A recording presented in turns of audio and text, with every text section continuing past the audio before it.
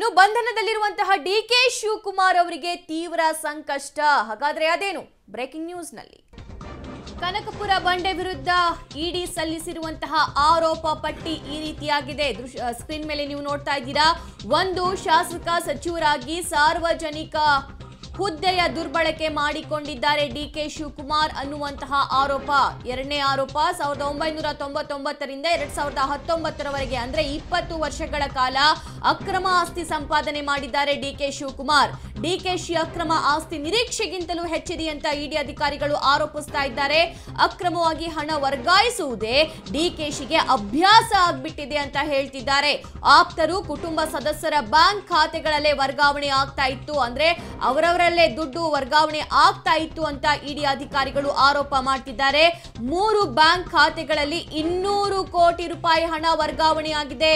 ಒಂದಲ್ಲ, ಎರಡಲ್ಲ, ಕೇವಲ ಮೂರು ಬ್ಯಾಂಕ್ ಖಾತೆಗಳಲ್ಲಿ ಇನ್ನೂರು ಕೋಟಿ ರೂಪಾಯಿ ಹಣ ವರ್ಗಾವಣೆ ಆಗಿದೆ ಎನ್ನುವಂತಹ ಆರೋಪ ಡಿಕೆಶಿ ಮೇಲಿದೆ. ಇಪ್ಪತ್ತು ಬ್ಯಾಂಕ್ಗಳಲ್ಲಿ ಡಿಕೆಶಿ ಕುಟುಂಬ ಅವರ ಆಪ್ತರು ಮುನ್ನೂರ ಹದಿನೇಳು ಖಾತೆಗಳನ್ನ ಹೊಂದಿದ್ದಾರೆ. ಈ ಮೂಲಕ ಅಕ್ರಮ ಹಣ ಮುಚ್ಚಿಡಲು ಡಿಕೆಶಿ ಪ್ರಯತ್ನವನ್ನ ಮಾಡ್ತಿದ್ದಾರೆ. ಗಿಫ್ಟ್ ವಂಶ ಪಾರಂಪರ್ಯವಾಗಿ ಸಿಕ್ಕಿದೆ ಎನ್ನಲಾಗಿರುವ ಆಸ್ತಿಯ ಮೂಲ ಡಿಕೆ ಶಿವಕುಮಾರ್ ಅವರು ತಿಳಿಸಿಲ್ಲ ಅನ್ನುವಂತಹ ಆರೋಪವನ್ನ ಇಡಿ ಅಧಿಕಾರಿಗಳು ಮಾಡ್ತಿದ್ದಾರೆ. ಹೆಚ್ಚಿನ ಮಾಹಿತಿ ಕೊಡ್ತಾರೆ ನಮ್ಮ ಪ್ರತಿನಿಧಿ ಶಬೀರ್ ಶಬೀರ್ ಡಿ ಕೆ ಶಿವಕುಮಾರ್ ಅವರ ಆರೋಗ್ಯ ಸದ್ಯಕ್ಕೆ ಹೇಗಿದೆ? ಜೊತೆಗೆ ಈ ಹಿಂದೆ ಅವರಿಗೆ ಭಾನುವಾರ ವಿಚಾರಣೆಗೆ ಕರೆದಿರ್ಲಿಲ್ಲ, ಆದ್ರೆ ಇವತ್ತೇನಾಗುತ್ತೆ? ಸಭಾ, ಇವತ್ತು ಕೂಡ ವಿಚಾರಣೆ ನಡೆಸುವಂತ ಸಾಧ್ಯಗಳು ಬಹುತೇಕ ಖಚಿತ ಆಗಿದೆ.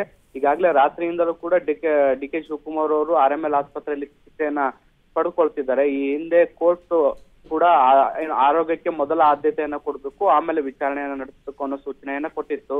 ಹಾಗಾಗಿ ಇಡಿ ಅಧಿಕಾರಿಗಳು ಕೂಡ ರಾತ್ರಿ ಪೂರ್ತಿ ಡಿ ಕೆ ಶಿವಕುಮಾರ್ ಅವರನ್ನ ಆರ್ ಎಂ ಎಲ್ ಆಸ್ಪತ್ರೆಯಲ್ಲೇ ಬಿಟ್ಟಿರುವಂತದ್ದು ಆರ್ ಎಂ ಎಲ್ನ ಸ್ಪೆಷಲ್ ವಾರ್ಡ್ನಲ್ಲಿ ಈಗ ಸದ್ಯಕ್ಕೆ ಡಿ ಕೆ ಶಿವಕುಮಾರ್ ಅವರು ಆ ಚಿಕಿತ್ಸೆಯನ್ನ ಪಡ್ಕೊಳ್ತಾ ಇದ್ದಾರೆ. ಈಗ ಅವರ ಆರೋಗ್ಯ ಸ್ಥಿತಿ ಕೂಡ ಆ ಕಂಟ್ರೋಲ್ಗೆ ಬರ್ತಾ ಇದೆ ಅಂತ ಹೇಳಲಾಗ್ತಾ ಇದೆ.